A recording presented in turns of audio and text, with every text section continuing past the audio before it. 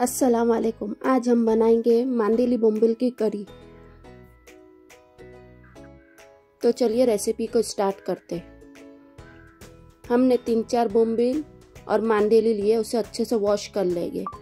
फिर उसमें हम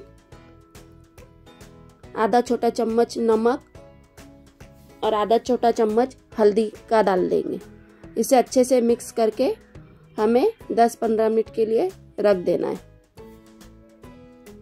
अब हम इसकी ग्रेवी के लिए मसाला रेडी कर लेंगे। एक मिक्सर जार ले लेंगे। उसमें हमने एक मीडियम साइज़ का कांदा कट करके लिए, एक टमाटर कट करके ले लेंगे।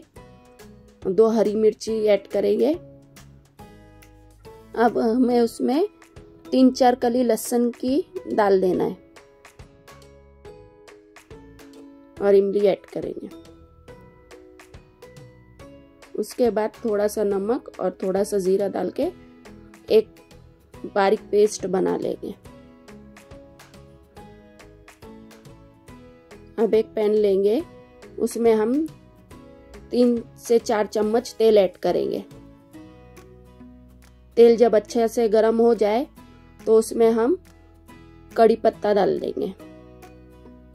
कड़ी पत्ता जब अच्छे से हो जाए तो उसमें हमने जो ग्राइंड करा हुआ मसाला था वो ऐड कर देंगे। मसाला ऐड करने के बाद उसे अच्छे से मिक्स कर लेंगे। अब उसमें हम एक छोटा चम्मच कश्मीरी लाल मिर्ची पाउडर डालेंगे और एक छोटा चम्मच धनिया पाउडर। दोनों को अच्छे से अभी हमें मिक्स कर लेना है। और स्लो फ्लेम पे हमें इसे अच्छे से भून लेना है कि कांदे का कच्चापन निकल जाए। 10 से 15 मिनट तक हम इसे स्लो फ्लेम पे अच्छे से भून लेंगे। जब हमारा मसाला अच्छे से भुन जाए तो उसमें हम अब ऐड करेंगे एक गिलास पानी। अभी हम उसमें एक बॉईल ले लेंगे। बॉईल आने के बाद उसमें हमारी मच्छी ऐड कर देंगे। मच्छी ऐड करने के बाद हमें दो मिनट के लिए ढक के पका लेना है। दो मिनट के बाद हमें गैस का फ्लेम बंद कर देना है। हमने नमक पहले भी ऐड किए थे, आप अपने हिसाब से नमक डाल सकते और ऊपर से अब हम हरा धनिया कट करके डाल देंगे।